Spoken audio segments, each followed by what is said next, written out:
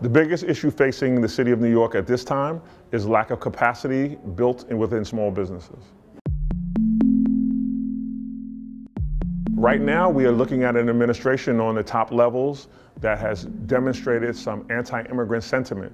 What we know is that a majority of our small businesses and micro businesses here in the city of New York are minorities and are of immigrant descent. We need to build capacity by providing access to capital and access to technical assistance to our small businesses and our micro businesses. So with that anti-immigrant sentiment, it creates an environment where innovation is stunted, growth is stunted within small businesses if they don't feel that there's support. What we can do is get out and support our small mom and pop shops across the city of New York and across the state of New York. I know that there's a propensity to use some of the larger chains because of commercials and because of advertisements, but some of the greatest, most innovative products come from small businesses. So uh, we as citizens every day are duly bound to get out, try to find small businesses that meet our need and patronize them.